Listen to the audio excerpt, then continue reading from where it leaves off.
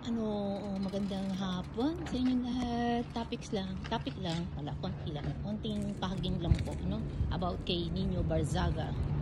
Na tinapik niya po, o kinontent niya sa kanyang channel about mga, mga Pilipino o OFW sa Japan na sinabihan niya na hindi maganda, minalahura niya mga kababaihan na, na nandito sa Japan. So, para sa iyo, Mr. Barsaga, na nga Barsaga, ako'y maliit na channel yan. Alam ko, di mo mapansin ito. Pero, sana, kung may galit ka sa isang tao, huwag mong lahatin. Kasi wala kang alam sa mga pinagdaanan namin dito, mga naging OFW. Hindi kami lahat ganon. Meron man siguro, pero don't judge the book by its cover, diba? Huwag ka mag-ano, kung bakit, bakit nagawa ng ibang tao yan. Sa Pilipinas, marami. Sa ibang bansa, marami. Hindi lang Pilipino. Marami dahil sa paghihirap nga, di ba? Pero sa'yo, check mo yung sarili mo muna bago ka magsalita. Kung ano yung mga tao dito at yung sa sarili mo.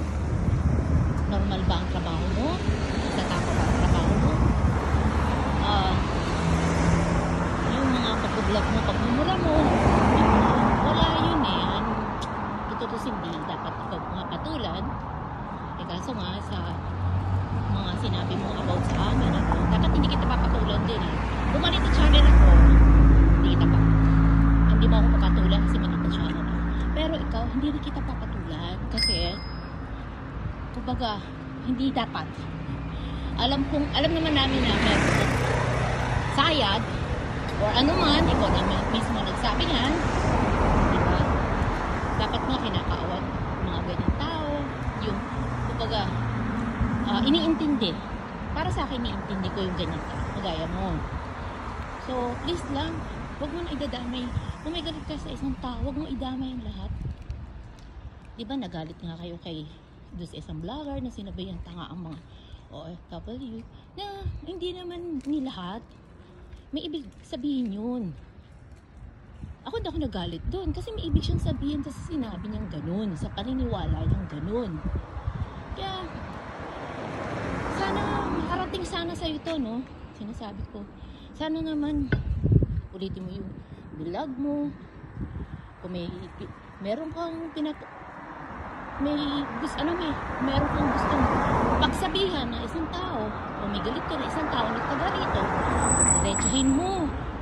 Alam kong ano kay diretso kang tao. Dapat huwag lahat huwag mong lahatin kasi hindi mo alam ang pinagdaanan namin dito kung kukwento ko pa buhay ko sa'yo baka maiyak ka pa.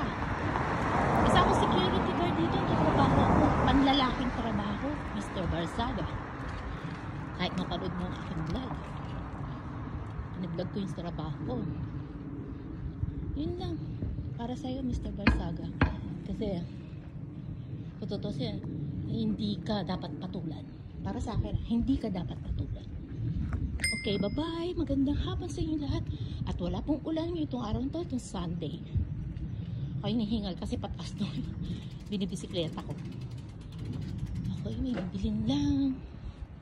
Magandang, magandang, magandang, magandang hapon at paggabi na rin po dito. Ko lang at para stop ko itong ating check ko lang. Sige, bye-bye po. Magandang hapon. Thank you very much.